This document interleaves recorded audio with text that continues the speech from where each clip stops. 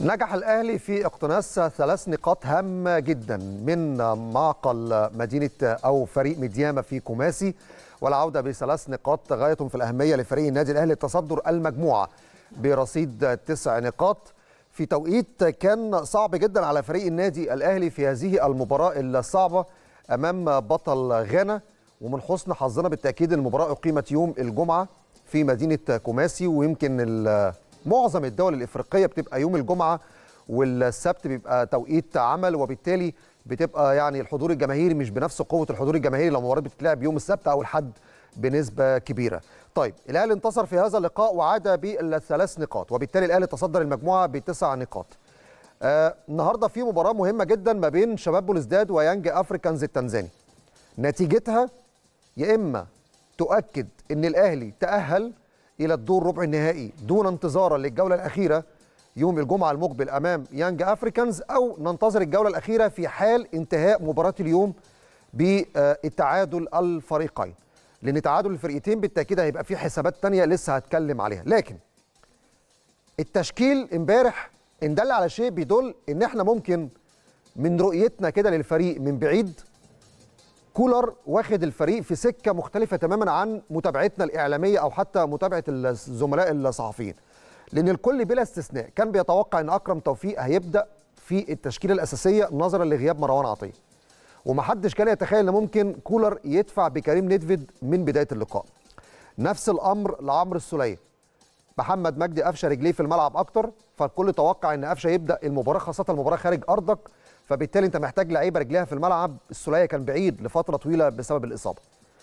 ولكن كولر كان له وجهة نظر ثانية نفس الأمر بالنسبة لبيرسي تاو.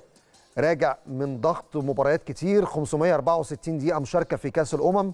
حالة إجهاد كانت غير طبيعية لبيرسي تاو وخد راحة حوالي أسبوع 10 أيام بعد العودة من الكوت ديفوار وما لعبش في المباراة الأولى. فالكل توقع في رحلة السفر وفي هذه المباراة تحديدا ممكن بيرسي تاو ما يكونش في التشكيلة الأساسية.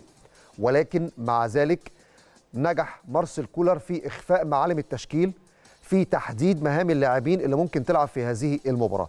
بدأ بكريم نيدفيد بدأ بعمرو السولية بدأ ببيرسي تاو. معظم التشكيلة ما اختلفتش عن المباراة السابقة. في ظل ان انت خلاص برضو كمان رؤيتك مش هتبقى واضحة قوي.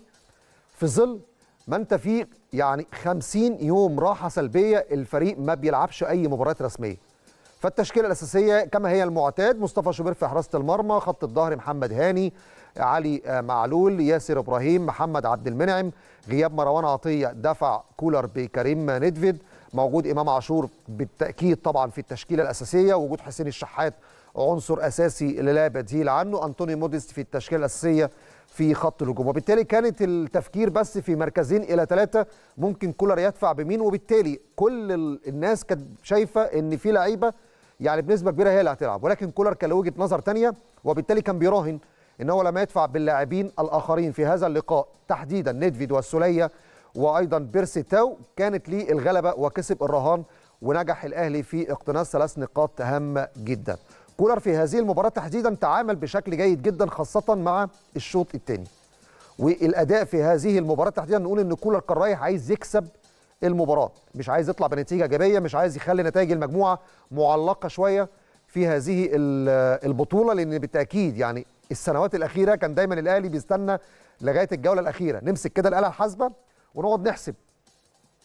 هنكسب هنا؟ نتعادل هنا؟ المنافس يخسر يتعادل. نستنى جولة أخيرة. ممكن المنافس الثاني يعمل نتيجة سلبية. ننتظر آخر مباراة. كانت دايما الحسابات بتبقى مرتبطة بالأهلي حتى صفارة نهاية دور المجموعات.